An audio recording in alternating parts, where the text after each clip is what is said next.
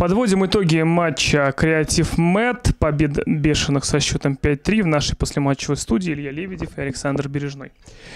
Илья, с победой, ну как, э, что это контраст? Э, столько играли в Суперлиге, 7 лет, сейчас опустились в дивизион рангом ниже.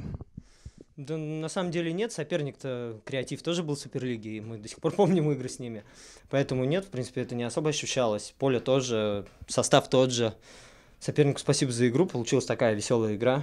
Ну, Дальше вопрос. Наверное, да, герой поединка, несмотря на поражение, Марк Бусарев. Мне казалось, что еще в первом тайме все будет решено. Там столько моментов было в ворот. Почему не удавалось реализовывать? Ну, я сам не знаю. Мы, за, мы шутили, что за первые минут 5-10 ударили больше, чем за прошлый весь сезон, наверное, по воротам соперника.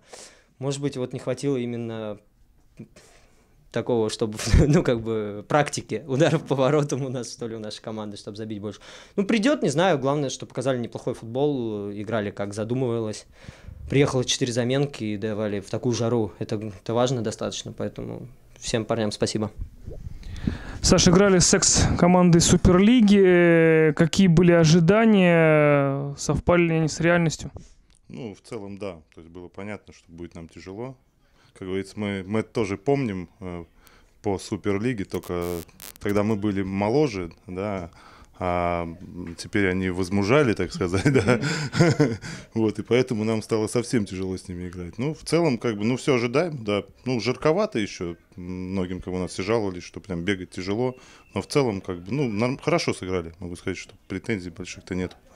Ну, победа Мэна закономерна? Да, однозначно. Как тебе игра Марка Бусарева? Ну, вообще в первом я говорил, мы должны были уже там 3-4 лететь уже там первые 15 минут, как бы, ну, вообще хорошо сыграл, молодец. Как удалось сохранить всех лидеров команды, потому что такая достаточно популярная практика команды Суперлиги вылетает, и всех игроков разбирают более именитые клубы? Ну, Мэтт это не просто название команды, потому что для многих, кто у нас играет. Поэтому они все остались. Какие задачи у Мэда? Если цель стопроцентная, чтобы вернуться в Суперлигу на следующий сезон? Да нет, на самом деле, ну вот э, цели такой не ставим конкретной, да, то есть даже не озвучивали, в принципе, какие-то задачи на сезон. Главное сейчас нам поймать вот этот вот, ну, сам футбол в первых играх, да, и начать получать удовольствие от этого футбола. Ну, как только это все придет, мы начнем забивать, и там уже будем смотреть, ставить цели. Саша, тебе вопрос последний. Алексей Рапопорт, есть у вас заявки. Почему не играет? В основном вижу, что он бегает вокруг стадиона. Сейчас к концовке тоже пришел, даже не переодевался. Ты на него рассчитываешь или он, можно сказать, завязал?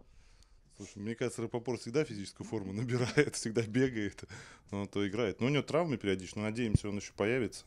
Он там все с ногами мучается, но в целом я надеюсь, что еще увидим его на поле. Насколько был сегодня вообще оптимальный состав? Есть ли еще возможности для усиления? Есть у нас э, заявлен защитник молодой, который нам все-таки даст немножко мобильности какой-то, потому что нам не хватает сзади. Ну и вроде как опытный. Вот, еще есть два опытных Войцеховича братья, тоже которые в сентябре появятся с лагерей. Поэтому надеемся, что ну, зацепимся. В серединке, я думаю, будем. Спасибо.